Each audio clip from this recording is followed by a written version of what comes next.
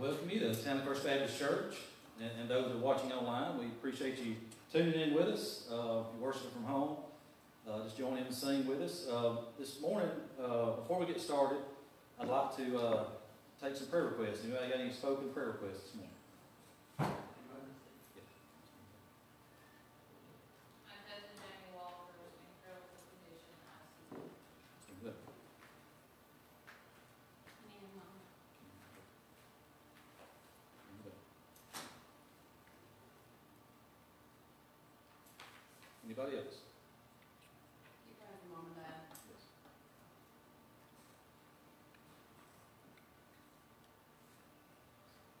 Any others? I know this morning we talked about praying for our country, praying for our president, praying for everybody that's dealing with uh, the COVID situation. So y'all be much prayer. Other churches uh, that we've been made aware of this this week have been dealing with it. So y'all pray for them. Uh, pray for our first responders, our, our nurses, our uh, doctors, everybody that's uh, again been affected, that's on the front line by that. Uh, continue to pray for our church, pray for our senior adults. I know the definitely the ones that are just coming to church and that's the only place they go. You know, be praying for them, um, and then also the ones again that's watching online for various reasons. Uh, y'all be much in prayer for them. Um, does anybody else got a spoken prayer request? Again, we do appreciate you being here today. Uh, today would have been homecoming, uh, third Sunday in August. Because of everything going on, we're going to uh, be pushing that to next year. Uh, we'll talk more about that later on. But uh, again, it's a, a different different time. But just so you know, it ain't took God by surprise. Amen. And we know He's, he's faithful through it all. Uh, does anybody, uh, again, have an unspoken request by raise of hand? Uh, if you will, let's bow our heads and let's go to the Lord in prayer. Uh, again, we're looking forward to God working in our, our midst today. I believe God's give us a give us a word for for, for today. But let's go to the Lord in prayer. God, I pray right now in the name of Jesus, Lord, that you would just be within the service. God, we pray, Lord, that you would please forgive us, Lord, where we've, messed up, where we've sinned, and and God, I thank you for the 130 years, God, that you've had this church here. Lord, I pray God, that we will continue being faithful in, in your work. Uh, God, I pray for, for Jesus and, and your Son, Lord, just, uh, just the, the promise of salvation, knowing heaven is our home, God, if we've trusted in Him. I pray, God, for all the many requests that's been mentioned, Lord, and I know even the ones that were mentioned earlier today. Uh, we pray, God, that you would continue to uh, just work a work within those. God, we pray for healing. We pray for comfort. Uh, God, we pray all the unspoken requests by raise of hand. You know the need in each one. Lord, I pray for this service, God. I pray for anybody on the sign of our voice today, uh, maybe watching online that does not know your Son, Jesus, as Lord and Savior. I pray today will be the day they would accept you. God, we love you and we thank you. In Jesus' name, amen. If you would, uh, we're going to sing. Y'all can stay seated on this song, and I'll, I'll show you in a minute why. Uh, but we're going to sing uh, page, page three, or excuse me, 329 if I get the word out there. Uh, but y'all look on the screen. We're going to sing the first and the last, and it's called Grace Greater Than Our Sin. Ain't you glad grace is greater than our sin? Let's sing. Sing it out.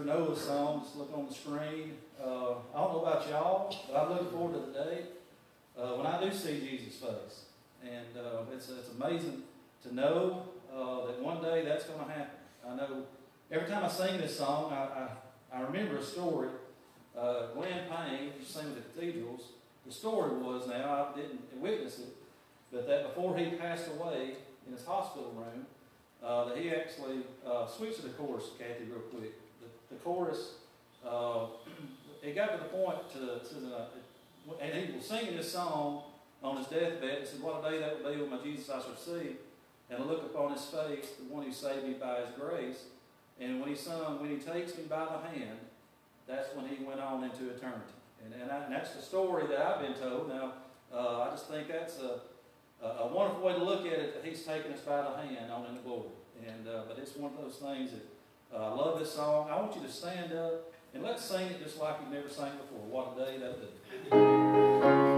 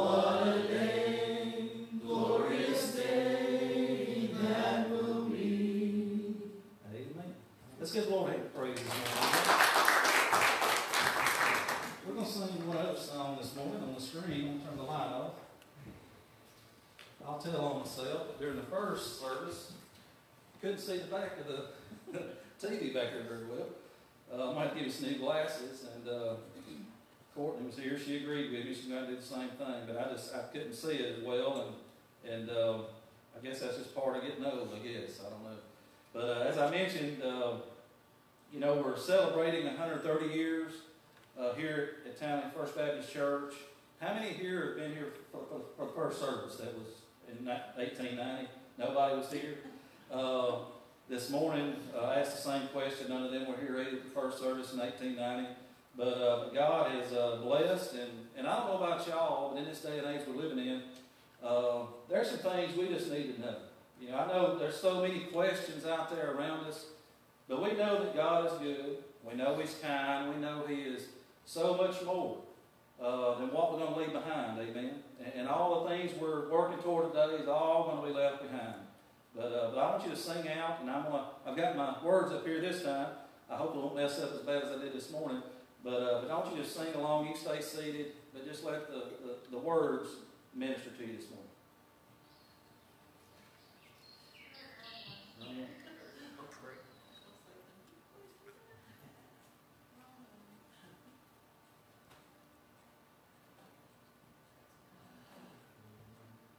Crash on us? Okay. All right. Well, let's get the Bibles out and turn to Joshua chapter 23. Oh, back up? Okay. We're going to work on a computer at some point in time, guys. Here we go. But y'all sing it.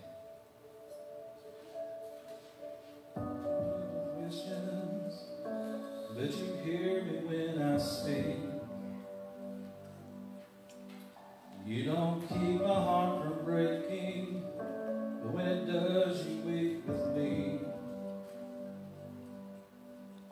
You're so close that I can feel you when I've lost the words to pray. And though my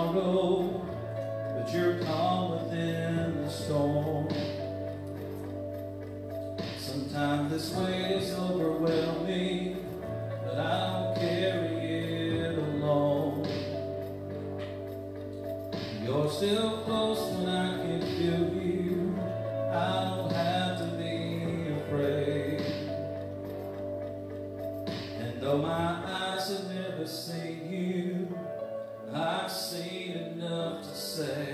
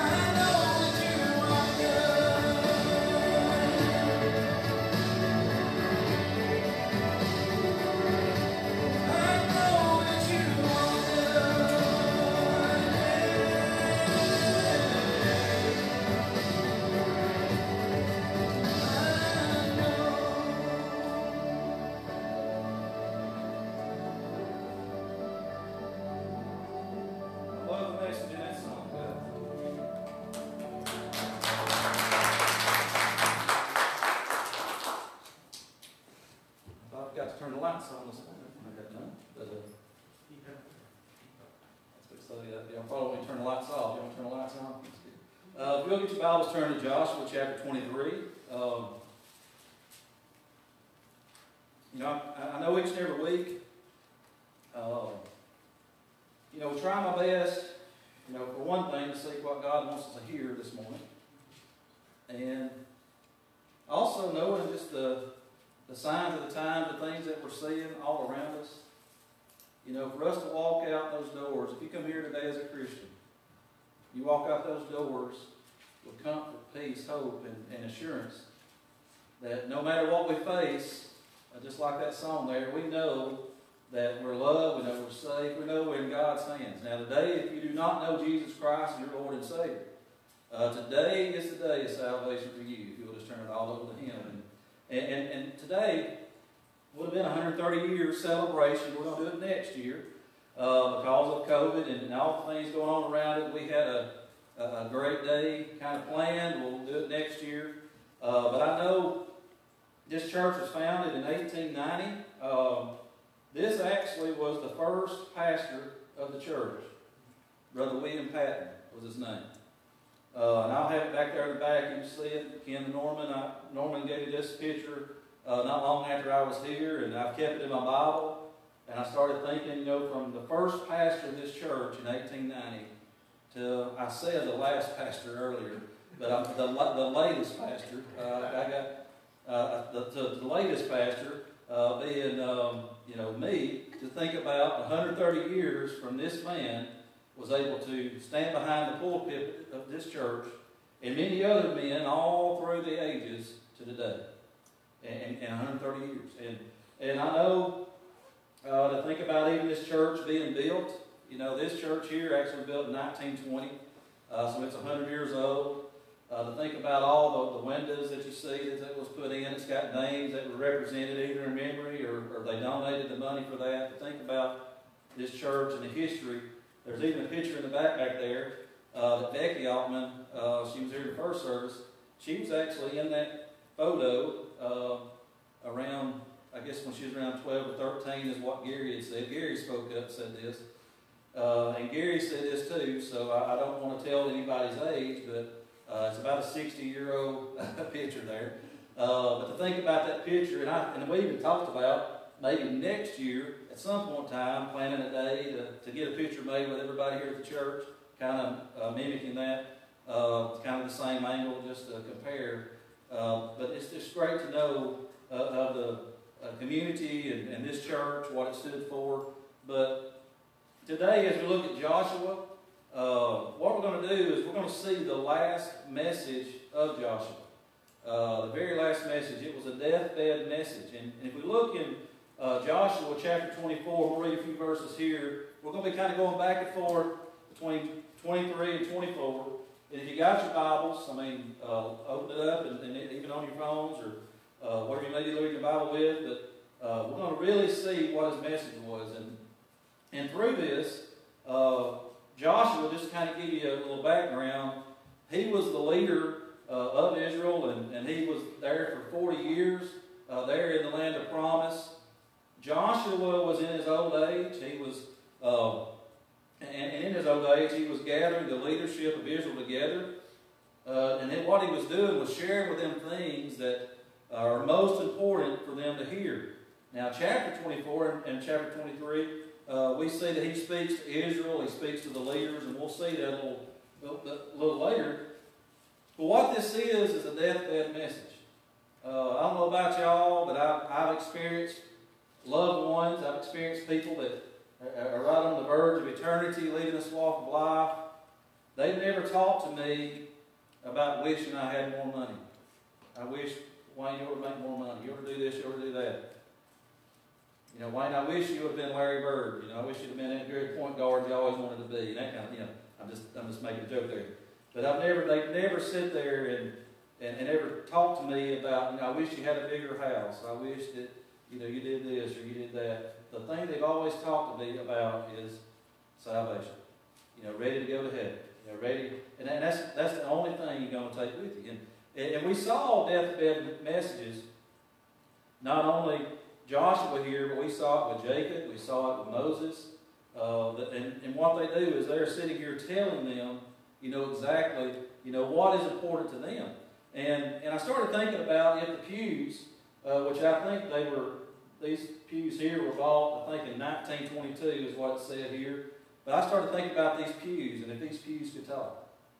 You know, if the, if the walls could talk and, and all the meetings that's, that's took place over all the years, you know, what would they say? And, and I started thinking about this too, because being 130 years later, even from that picture being 60 years later, what would they say about today to us?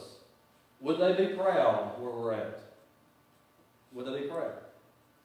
And, and I started thinking about all the things, and y'all been here a lot longer than I have, and, and some of you maybe shorter than myself, but me and Shelley's been here four, going on five years, and and uh, we just thought about it this morning, that how how time flies when you're having fun. I'm telling you, this, is just a blessing to be here, but to, to think about all the things that maybe we've experienced over 130 years that I've even seen within four and five years, just to be honest with you.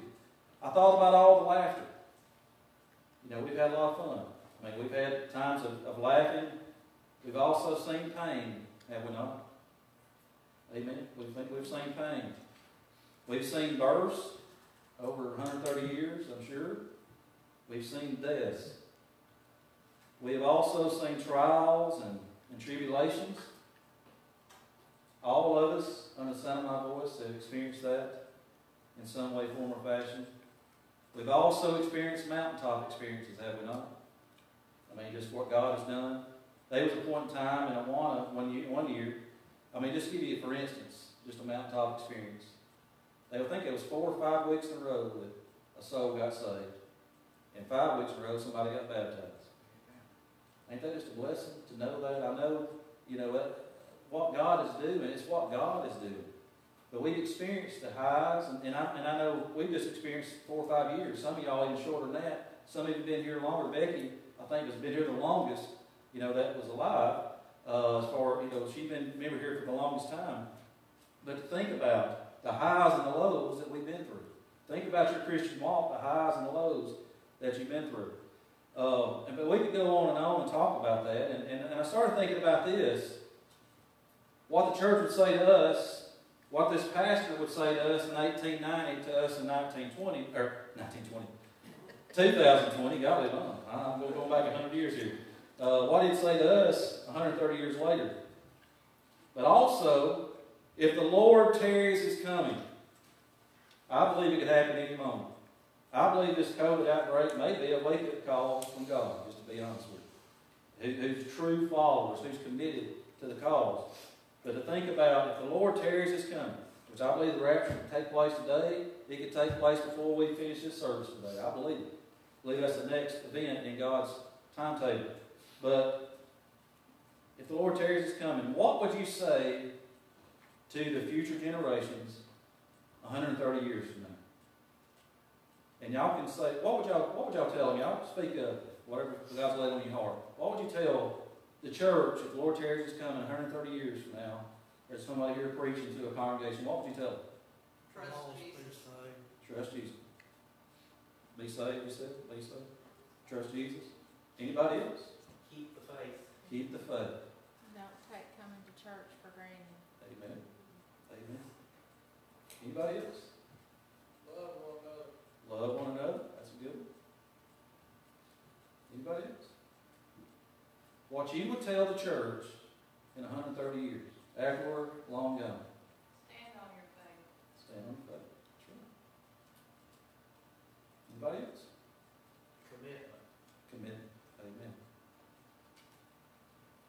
Anyone else? I mean, ain't no right or wrong answers if it's in God's, in God's Word. But I thought about this, about the, the legacy. You know, we've talked about, you know, Brother William Patton here, even myself. That is where our legacy can be attributed to. It's got to be Jesus. That, that's our legacy, to leave behind. And if we leave this walk of life 130 years from now, that they can look back and maybe that picture we take at some point in time, six years later, to say they, they trusted Jesus. They believed in Him. That, that's the only legacy that's going to make a difference. You know what I would say to 130 years, if you're lost, hey, get saved. If you, you know, be faithful. If you are saved, be faithful. Be committed. Just like Brother Johnny said. Uh, stay the course. Stay the course. And I know it's hard for us to see right now, but it's going to be worth it. It's going to be worth it. Just, just hang in there. The last public speech we see of Joshua here, he was a great general in, in the nation of Israel. Uh, it was of, great importance, and it was also sound advice. And had it been heeded later on in the life of this nation, it would have spared much heartache, sorrow, and defeat. But we, if you, uh, and I haven't read any scripture yet, I'm sorry. Uh, Joshua chapter 24.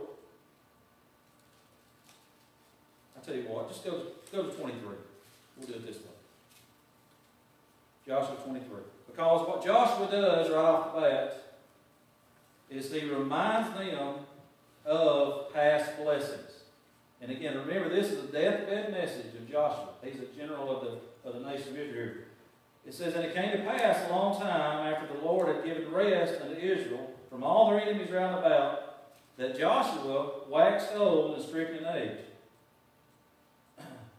And Joshua called for all Israel, and for their elders, and for their heads, for their judges, and for their officers, and said unto them, I am old and stricken in age.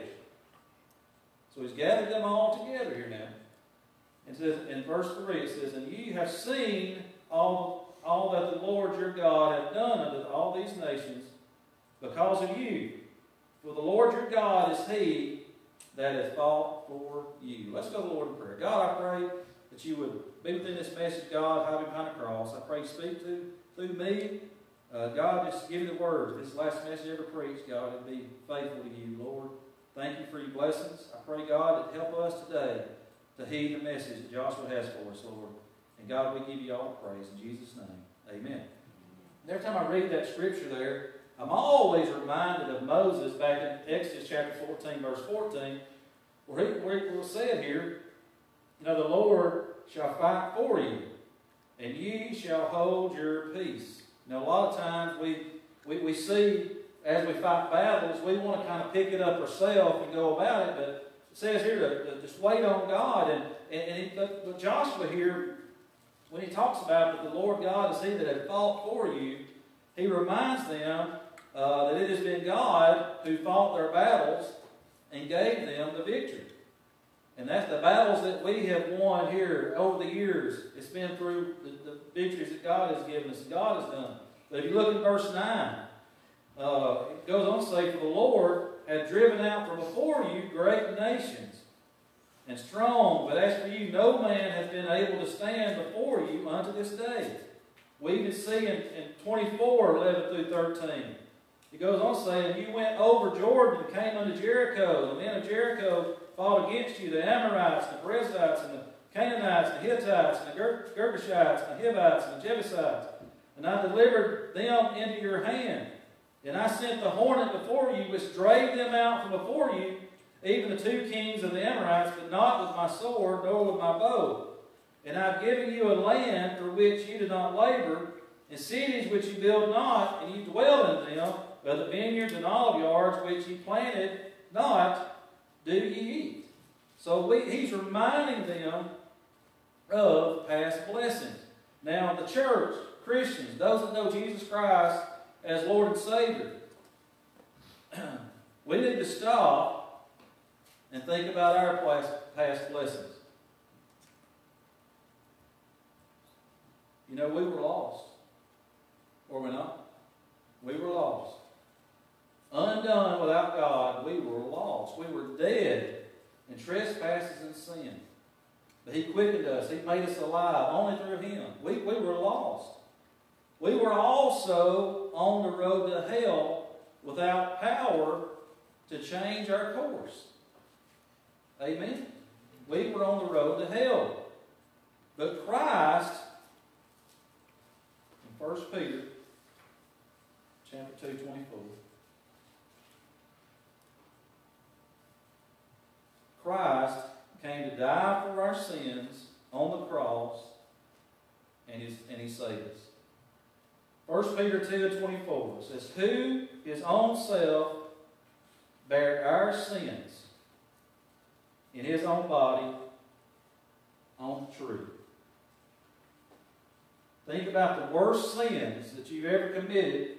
And just to be honest with you, is there times in your life where you sit there and maybe something comes to mind of, of something you messed up and sinned and God's forgiven it, but it kind of hits you like, oh man, I forgot about that. You know, I kind of put that back in my mind. But to think about all the sin, all the things that, that, that Wayne Page has done, that you have done, it says there, who his own self, Jesus, bare our sins in his own body on the tree. That we, being dead to sins, should live under righteousness, by whose stripe you were healed. These stripes. To think about Jesus did that for me and for you.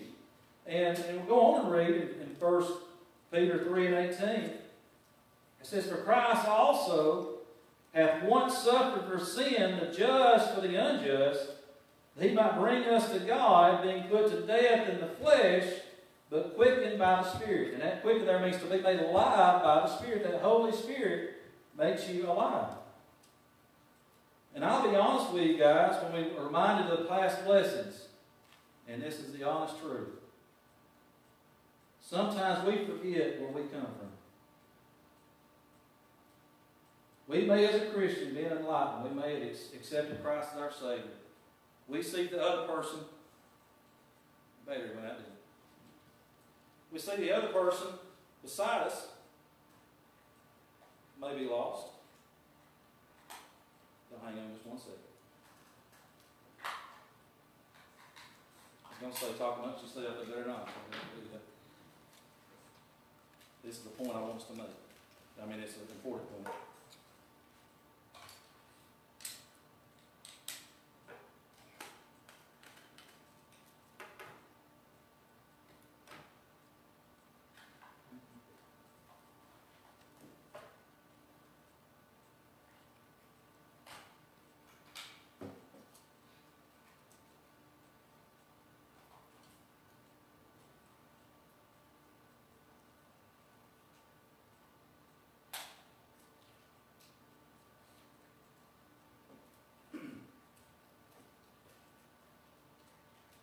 Christians need to stop, think of our past blessings. We were lost, undone. We were on the road to hell without no chance to, to change our course. Christ died, saved us from our sins, and saved us. And the point I was making was a lot of times we may see somebody lost. And I, I love it. I've got text messages from, from church members that Hey, pray for so and so, they're lost. Pray for this person, they're lost. I love that. It makes me know you care about your friends or, or loved ones. But a lot of times we think, well, why, why can't they just accept Christ? Why can't they just turn it all over to, to God?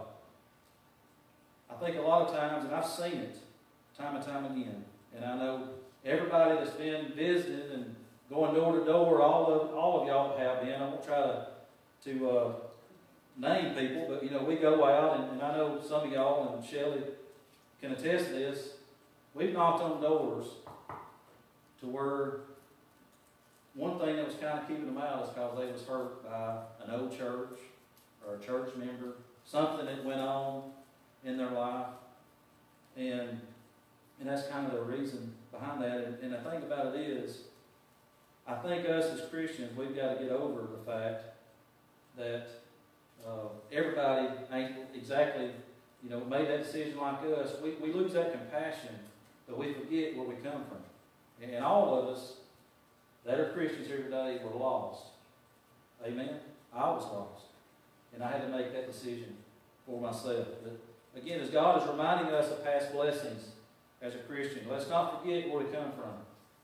And even if you're talking to folks and, and, and ministering to folks that don't know Christ, you know, don't give up. Because I think you can share just about fear. It mentions that about seven encounters is the average before they say, you don't know, you may be the first, you may be the seventh, you may even be the tenth. But it's great to, to know how God can, can work through us if we'll allow Him to. But again, my thing is don't forget where we come from. Also, Joshua goes on and reminds them uh, future blessings that he promised. Now God shall deliver them from his enemies.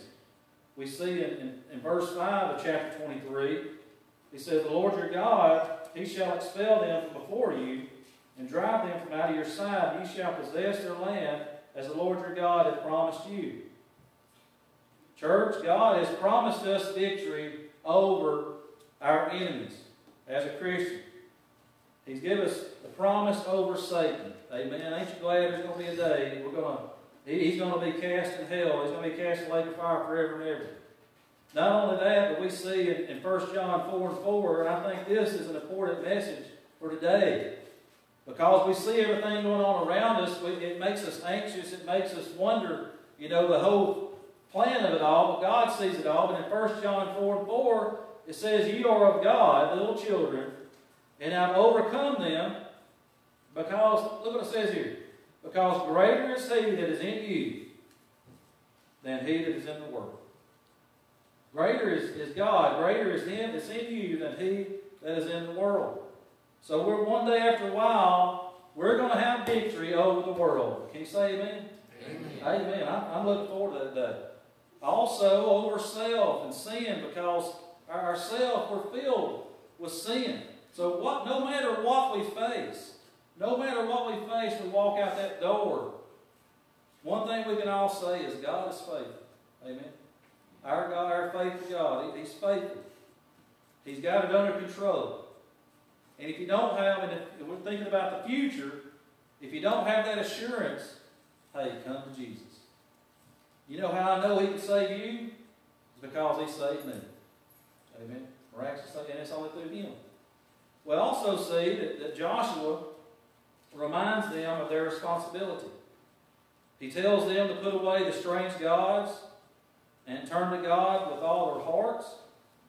In verse 7 of, of Jeremiah chapter 23, he says, That ye come not among these nations, these that remain among you neither make mention of the name of their gods, nor cause to swear by them, neither serve them, nor bow yourselves unto them. Church, idolatry is still uh, here around us. And, and idolatry in a so called Christian land today takes two forms. One of those forms is materialism, hobbies, those type of things. I mean, we, putting anything ahead of God is, is an idol. Y'all with me so far? Not only that, and I'll say this, maybe here this morning, you may be watching online, but you know, one of the things that also is, a, is a case of idolatry is just playing church. Pretending to be right with God. And, and it's important for us to inventory, look at our life. Now, we've had a lot of people walk through those doors. I'm sure over 130 years there's been a lot of people saved in this, in this altar here. But the main thing is, just because your name's on the roll, just because you've talked to the pastor and it, the main thing is that you know, that you know, that you know that Jesus Christ is your Lord and Savior. And, and, and that's the thing about it too. When you come and sit on a pew, and I've done it too, guys. I mean, I, I'm speaking from experience. Coming in, sitting on a pew, pretending to be right with God, pretending to be where I need to be, knowing all along, you know, I wasn't where I needed to be, or I wasn't doing things exactly right. And, and what we see from this is that God already knows it. God sees it. And you may can fool me, that, I'm, I'm, I'm the pastor. I'm not God. I, am not, I can't see everything that you do. You make it fool me. But one thing you can't do, you can't fool God. Amen? Can't fool God. You've got to, don't play church. Don't play it. It's a one-on-one-on relationship with Jesus Christ. It's, if, if, if this world goes completely crazy and, and it's just you by yourself with your Bible in your home, that, that God can speak with you. It's that relationship. That's the only thing that's going to get you or myself through these difficult days, these difficult situations. But to be able to, to the responsibility that Joshua is talking about here, for one, is to obey the Word of God. In Jeremiah 23 and 6, he says, Be therefore very courageous to keep and do all that is written in the book of the law of Moses, that you turn not aside therefrom to the right hand or to the left. That means go straight. Amen. Go straight. Obey the Word of God. And, and, and this is the way, the truth, and the life. We, we've got to trust in Jesus. Also, to be totally devoted to the Lord. Now, verse 8 through 11 in Jeremiah chapter 23, it says, cleave unto the Lord your God, as ye have done unto this day. For the Lord hath driven out from before you great nations and strong, but as for you, no man hath been able to stand before you unto this day. Now, before we read verse 10, just so you know, if it's just you and God against the world, you're still in a majority. But we see in verse 10, notice what it says here. One man of you shall chase a thousand. Ain't that something when you think about one person, one man shall be able to chase a thousand? And, and notice why. It says, For the Lord your God, he it is that fighteth for you as he has promised you. Take good heed, therefore, unto the, yourselves that ye love the Lord your God. And that's my prayer for y'all as well. You just love God. He loves you. And, and, and, that, and, and that's our responsibility is to be devoted, to be committed to what God would call us to do. And, and, and I know each one of these, you can preach a sermon within itself. But Joshua here is reminding them of their responsibility. And we have a responsibility as well. Also, he warns them of the danger of disregard. If you read 15 and 16, God uh,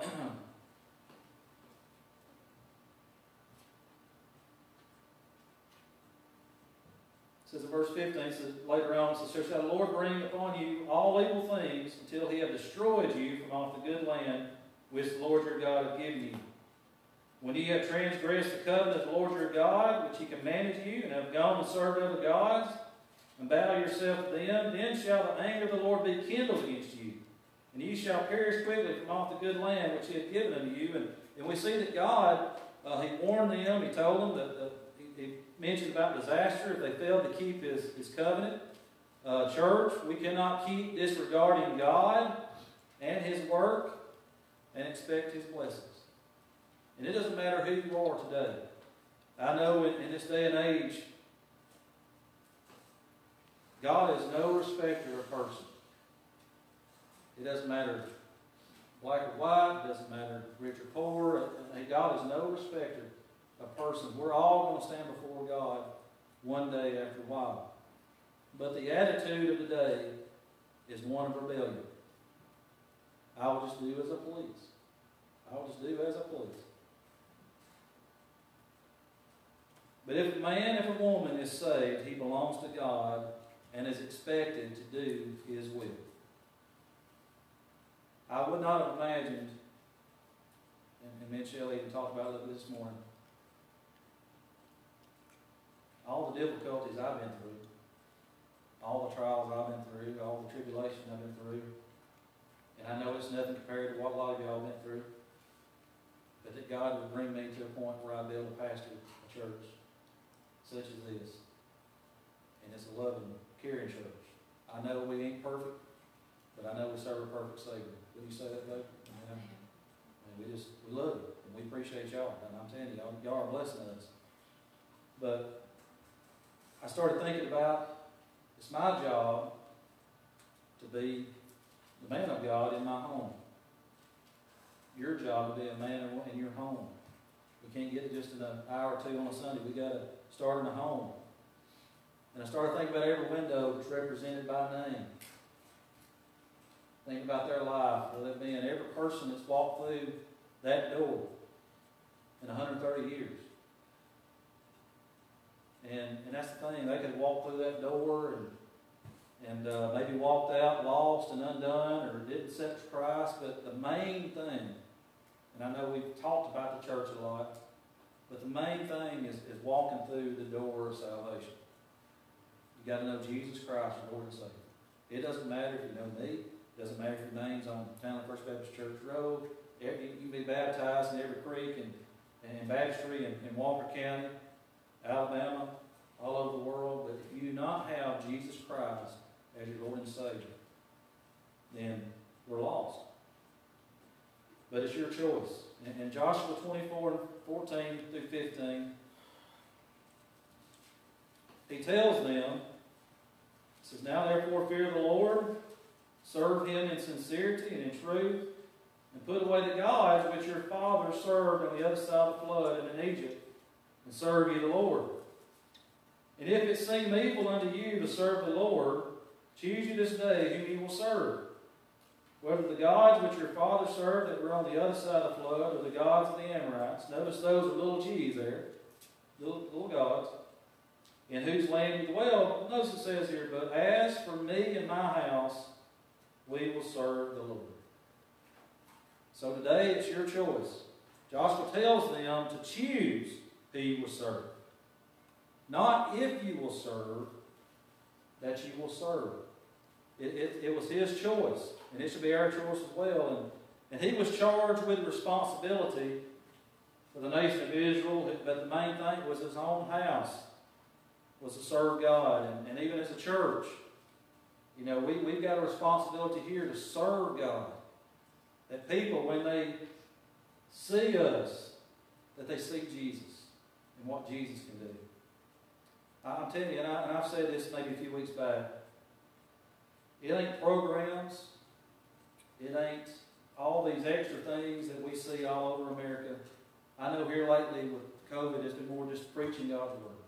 Kind of the way it used to be probably in 19, 1820, or 1890. But to think about 130 years ago from now, you know what really speaks to a community? You know what speaks to your co-workers? You know what speaks to your friends, county? Is when people walk in lost and they leave out that door changed. And they can see a change in them. When somebody comes in here messed up and they walk out those doors in a sound mind. Amen? Why? Because God took hold of their life. Jesus Christ made a difference. That's what speaks to the community. That's what speaks to, to, the, to the world. When people walk through that door, I pray they feel the love of God like you've never felt before, the Holy Spirit. Y'all know we've prayed, even had, had hands on the doors before and that kind of thing. Praying when people walk through. I pray when people drive by 102, 124, they just feel the presence of the Holy Spirit drawing them. That's my prayer. Can, can y'all think God, God can do it, can you not? God can do it. And, and we see through this choice to serve God. Who do you choose? Are you choosing God or are you choosing the world and ultimately Satan? And, and, and also think about this. 130 years ago today, I asked you earlier, if the Lord tarries is coming, what would you say 130 years from now to, to the future church? 130 years from now, what's going to matter in your life?